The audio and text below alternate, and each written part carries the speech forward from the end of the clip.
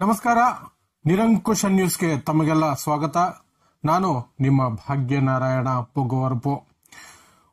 ದಕ್ಷಿಣ ಕನ್ನಡದಲ್ಲಿ ಮತ್ತು ಕರಾವಳಿ ಭಾಗದಲ್ಲಿ ಕರ್ನಾಟಕದಲ್ಲಿ ನಿರಂತರವಾಗಿ ಕೋಮುದ್ವೇಷವನ್ನೇ ಬಂಡವಾಳ ಮಾಡಿಕೊಂಡು ಅದನ್ನೇ ಉಸಿರಾಡಿಕೊಳ್ಳುತ್ತಾ ಆ ಮೂಲಕವೇ ತಮ್ಮ ರಾಜಕೀಯ ಬೇಳೆಗಳನ್ನು ಬೇಯಿಸಿಕೊಳ್ಳುವಂತಹ ಕ್ರಿಯೆಗಳು ಸುಮಾರು ಹತ್ತು ಹದಿನೈದು ವರ್ಷಗಳಿಂದ ದೊಡ್ಡ ಮಟ್ಟದಲ್ಲಿ ನಡೀತಾ ಇದ್ದಾವೆ. ಈ ಹಿಂದೆಯೂ ಕೂಡ ಕರಾವಳಿ ಭಾಗ ಒಂದು ರೀತಿಯಾದಂತಹ ಸೂಕ್ಷ್ಮ ಪ್ರದೇಶವಾಗಿದ್ರೂ ಕೂಡ ಅದರ ಕಳೆದ ಹದಿನೈದು ವರ್ಷಗಳ ಇತ್ತೀಚೆಗೆ ಆಗಿರುವಂತಹ ಮಾರ್ಪಾಟನ್ನು ಗಮನಿಸಿದ್ರೆ ಅದು ಒಂದು ರೀತಿಯಲ್ಲಿ ಯಾವುದೇ ಕ್ಷಣವೂ ಸ್ಫೋಟಗೊಳ್ಳಬಹುದಾದಂತಹ ಒಂದು ಆಟಮ್ ಬಾಂಬಿನ ರೀತಿಯಲ್ಲಿ ಆ ಒಂದು ಪ್ರದೇಶಗಳು ಇವತ್ತು ಇದ್ದಾವೆ. ಇಂತಹ ಸಂದರ್ಭದಲ್ಲಿ ನಿರಂತರವಾಗಿ ಒಂದು ಮುಸ್ಲಿಮರ ಕೊಲೆಯಾಗುತ್ತೆ, ಇಲ್ಲ ಹಿಂದೂಗಳ ಕೊಲೆಯಾಗುತ್ತೆ.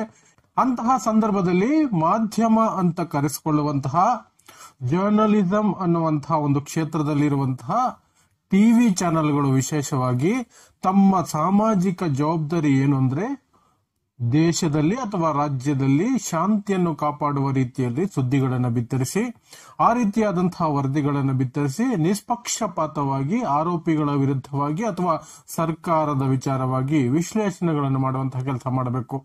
ಆದರೆ ಇವತ್ತಿನ ಪರಿಸ್ಥಿತಿಯಲ್ಲಿ ಅದರಲ್ಲೂ ವಿಶೇಷವಾಗಿ ಮೋದಿ ಅನ್ನುವಂತಹ ಸರ್ವಾಧಿಕಾರಿ ಮನೋಭಾವನೆಯ ಒಬ್ಬ ವ್ಯಕ್ತಿ ಈ ದೇಶದ ಪ್ರಧಾನಿಯಾದ ಮೇಲೆ ಮಾಧ್ಯಮಗಳು ಒಂದು ರೀತಿಯಾಗಿ ಆಡಳಿತ ಪಕ್ಷದ ಮೌತ್ ಪೀಸ್ಗಳಾಗಿ ಅವರ ಒಂದು ರೀತಿಯಾದಂತಹ ಬಕೆಟ್ಗಳಾಗಿ ಕೆಲಸ ಮಾಡ್ತಿರೋದನ್ನ ನಾವೆಲ್ಲರೂ ಕೂಡ ನೋಡ್ತಿದ್ದೀವಿ.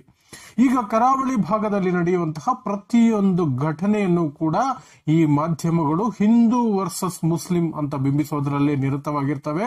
ಮತ್ತು ಯಾವೆಲ್ಲ ರೀತಿಯಲ್ಲಿ ಮುಸ್ಲಿಮರ ತಲೆಗೆ ಕಟ್ಟಬೇಕು, ಮುಸ್ಲಿಂ ದ್ವೇಷವನ್ನ ಬಿತ್ತೋದಕ್ಕೆ ಈ ಒಂದು ಪ್ರಕರಣವನ್ನ ಅಥವಾ ಯಾವುದೇ ಪ್ರಕರಣವನ್ನು ಬಳಸಿಕೊಳ್ಳಬೇಕು ಅನ್ನೋದಕ್ಕೆ ನಿರಂತರವಾಗಿ ಸರ್ವ ಸನ್ನದ್ಧರಾಗಿ ಕೂತಿರ್ತಾರೆ.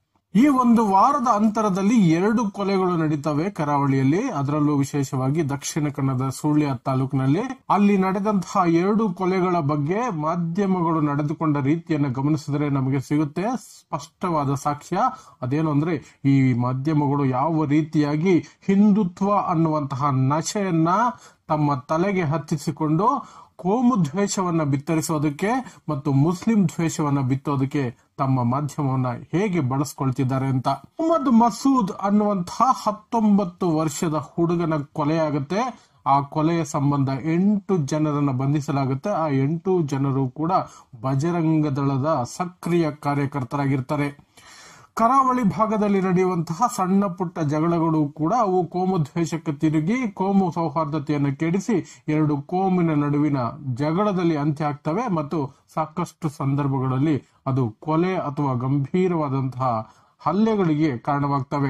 ಅಂತಹದ್ದೇ ಒಂದು ಸಣ್ಣ ವಿಚಾರವಾಗಿ ನಡೆದಂತಹ ಒಂದು ಸಣ್ಣ ಗಲಾಟೆಯನ್ನ ದೊಡ್ಡ ಮಟ್ಟದ್ದು ಮಾಡಿ ಮಸೂದ್ ಹತ್ತೊಂಬತ್ತು ವರ್ಷದ ಹುಡುಗ ಮುಸ್ಲಿಂ ಅನ್ನುವ ಒಂದೇ ಕಾರಣಕ್ಕಾಗಿ ಅವನನ್ನು ಸಂಧಾನಕ್ಕೆ ಕರೆದ ರೀತಿಯಲ್ಲಿ ಕರೆದು ಬಾಟಲ್ಗಳಿಂದ ಅವನ ಮೇಲೆ ಹಲ್ಲೆ ಮಾಡಿ ಈ ಎಂಟು ಜನ ಬಜರಂಗ ದಳದ ಕಾರ್ಯಕರ್ತರು ಕೊಂದು ಹಾಕ್ತಾರೆ.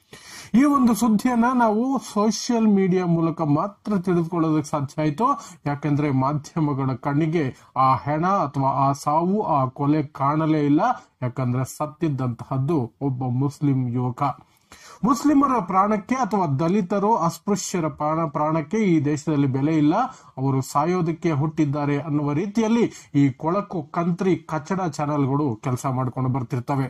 ಮಸೂದ್ ಸತ್ತ ಕೆಲವೇ ದಿನಗಳ ಅಂತರದಲ್ಲಿ ನಿನ್ನೆ ಬಿಜೆಪಿಯ ಸೂಲ್ಯದ ಕಾರ್ಯಕರ್ತರಾಗಿರುವಂತಹ ಪ್ರವೀಣ್ ನೆಟ್ಟಾರು ಅನ್ನುವವನ ಕೊಲೆಯಾಗಿದೆ. ಆ ಕೊಲೆ ನಡೆದದ್ದೇ ತಡ ಎಲ್ಲ ಮಾಧ್ಯಮಗಳು ತಮ್ಮ ಮೇಲಿದ್ದಂತಹ ಎಲ್ಲ ಹೊದಿಕೆಗಳನ್ನು ಕಿತ್ತೆಸೆದು ದೊಡ್ಡ ಮಟ್ಟದಲ್ಲಿ ಕಿರುಚಾಡ್ತಾ, ಕೋಮುದ್ವೇಷವನ್ನು ಬಿತ್ತುತ್ತಾ ಮುಸ್ಲಿಮರೇ ಕಾರಣ ಅನ್ನುವ ರೀತಿಯಲ್ಲಿ ಯಾವುದೇ ತನಿಖೆಗೂ ಕೂಡ ಕಾಯ್ದೇನೆ ಮುಸ್ಲಿಮರ ತಲೆಗೆ ಕಟ್ಟುವಂತಹ ಮತ್ತು ಹಿಂದೂ ಕಾರ್ಯಕರ್ತನ ಕೊಲೆಯಾಗಿದೆ, ಹಿಂದೂ ಕಾರ್ಯಕರ್ತನ ಕೊಲೆಯಾಗಿದೆ ಅಂತ ಅರಚಿಕೊಳ್ಳುತ್ತಿರುವಂತಹ ಜರ್ನಲಿಸಂ ಅಂದ್ರೆ ಏನು ಅಂತ ಗೊತ್ತಿಲ್ಲದಂತಹ ಕಂತ್ರಿ ಮನಸ್ಥಿತಿಗಳು ಯಾವ ರೀತಿಯಾಗಿ ನಂಜು ಬಿತ್ತುತ್ತಾ ಇದಾವೆ ಅಂತಹ ಈ ಚಾನೆಲ್ಗಳನ್ನು ಒಮ್ಮೆ ನೋಡಿದ್ರೆ ಚಪ್ಪಲಿ ತಗೊಂಡು ಎಲ್ಲರನ್ನು ಒಂದೇ ಕಡೆ ಕೂರಿಸಿ ಹೊಡಿಬೇಕು ಅನ್ಸುತ್ತೆ. ಅಷ್ಟು ಕೊಳಕು ಮನಸ್ಥಿತಿಯಿಂದ ಸುದ್ದಿಗಳನ್ನ ಅಥವಾ ವರದಿಯನ್ನ ಬಿತ್ತರಿಸ್ತಾ ಇದ್ದಾರೆ. ಅಲ್ಲಿ ದೊಡ್ಡ ಮಟ್ಟದಲ್ಲಿ ಗುಂಪು ಸೇರಿಕೊಂಡು ಗುಂಡಗಳ ರೀತಿಯಲ್ಲಿ ವರ್ತಿಸ್ತಾ ಇರುವಂತಹ ಹಿಂದೂ ಕಾರ್ಯಕರ್ತರು ಅಂತ ಕರೆದುಕೊಳ್ಳುವಂತವರು ಆಸ್ತಿ ಪಾಸ್ತಿಗಳಿಗೆ ನಷ್ಟ ಮಾಡ್ತಿದ್ರೆ ಅಮಾಯಕರ ಮೇಲೆ ಪೊಲೀಸರ ಲಾಠಿ ಚಾರ್ಜ್ ಅನ್ನುವಂತಹ ವರದಿ ಬಿತ್ತಿರಿಸ್ತಾರೆ. ಇವರೇನು ಹೊಟ್ಟೆಗೆ ಅನ್ನ ತಿಂತಾರ, ಇನ್ನೇನಾದ್ರೂ ತಿಂತಾರ? ನ್ಯಾಯ ಕೇಳೋದೇ ತಪ್ಪ ಅಂತ ವರದಿಯನ್ನು ಬಿತ್ತರಿಸ್ತಾ ಮಸೂದ್ ಸತ್ತಾಗ ಇವರ ಬಾಯಿಗೆ ಏನಾದ್ರೂ ಎರಡು ಗಾಲ್ಫ್ ಬಾಲ್ಗಳು ಸಿಕ್ಕಾಕೊಂಡಿದ್ವಾ? ಈಗ ಆ ಬಾಲ್ಗಳನ್ನು ಹೊರತೆಗೆದು ಮಾತಾಡ್ತಿದ್ದಾರ? ಎಷ್ಟು ಕೊಳಕು ಮನಸ್ಥಿತಿಯ, ಎಷ್ಟು ಕೋಮು ತುಂಬಿದ ದ್ವೇಷ ತುಂಬಿದ ಮನಸ್ಸುಗಳು ಈ ಕನ್ನಡ ಮಾಧ್ಯಮದಲ್ಲಿದ್ದಾವೆ ಅಥವಾ ಇಡೀ ದೇಶದ ಮಾಧ್ಯಮಗಳೇ ಎಕ್ಕುಟ್ಟೋಗಿದ್ದಾವೆ ಅನ್ನೋದಕ್ಕೆ ಇಂತಹ ಪ್ರಕರಣಗಳೇ ನಮಗೆ ಸಾಕ್ಷಿ ಆಗುತ್ತೆ.